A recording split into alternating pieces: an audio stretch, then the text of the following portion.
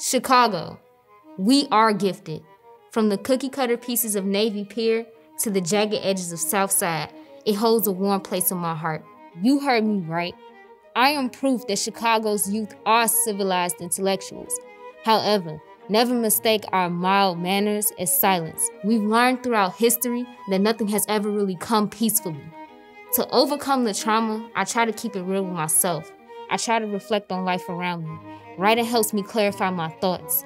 Through AUSL, I hope you understand my words. I hope you understand my pain. With this school, with this program, my voice will no longer be silenced. Let my voice bring change. Let our voice bring change.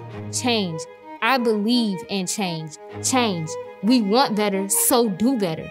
It all starts with you, right? So change, not just for us, but for you. That's it.